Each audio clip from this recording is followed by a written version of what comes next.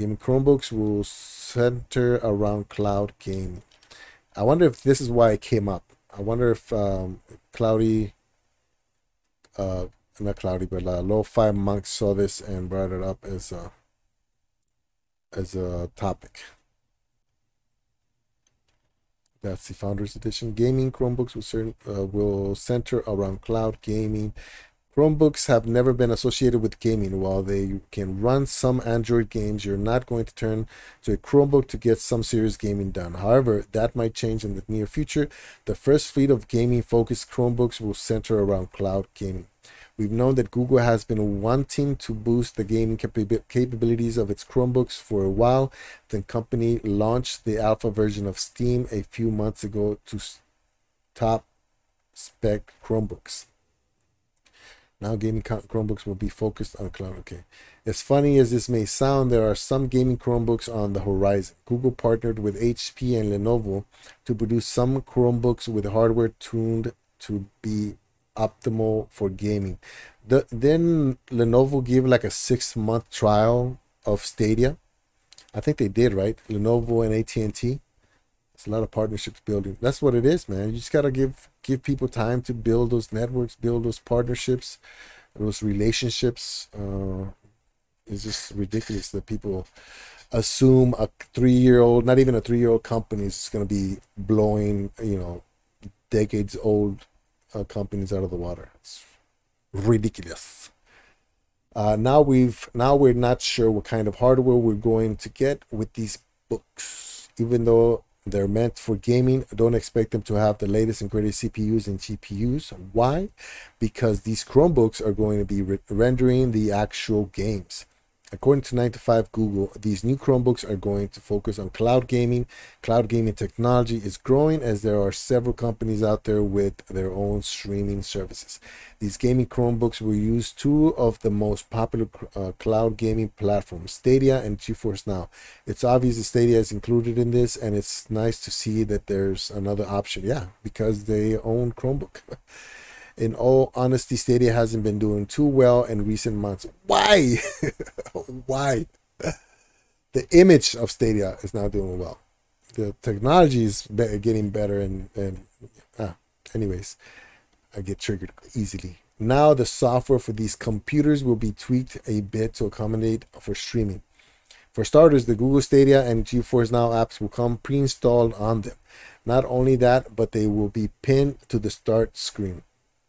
See, this is how you do it, man. This is so both. So, a Chromebook is owned by Google, but uh, you know, okay, Chromebook is owned by Google, and they're pre-installing NVIDIA's GeForce Now app on their on their uh, operating system, right?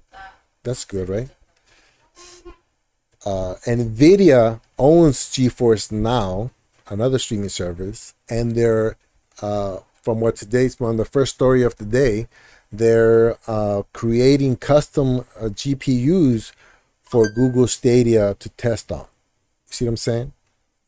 That's how you do it because they understand that cloud gaming is a baby still, and uh, by lifting like uh, what was it? Uh, what did Rock say last time? Uh, uh, it's a famous saying, but he says it so good uh, a rising tide raises all boats, something like that. So, for the same reason that Tesla released their very, very good battery technology to the public, to uh, for all these companies that are, you know, they're they should be they should be better at it, but they're not.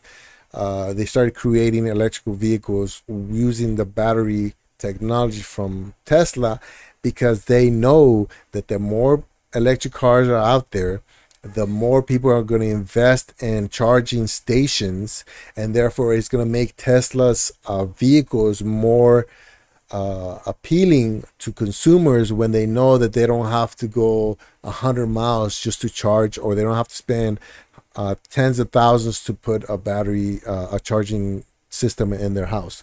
Does that make sense?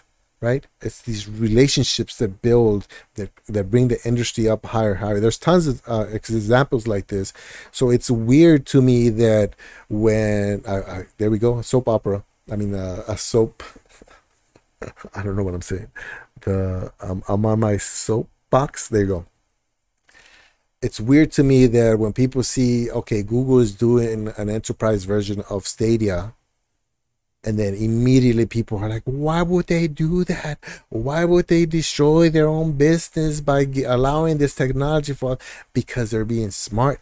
They're gonna. That's gonna give them the the the data and the, and the support that they need to make that technology better, which is gonna bring their platform to a better better state. You know, I mean, there's examples all over the place, but it's it's um, it's ridiculous that people don't see it. We don't know much more about these com- computers, so we'll need to wait for these computers to get closer to release. Information like price and availability will come out when these computers near their launch.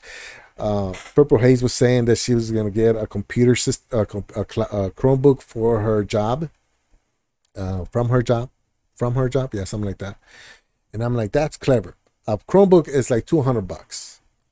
Uh, the computer that my that I bought for for my, the one that I use, my laptop, which is small. I, I, I regret doing it.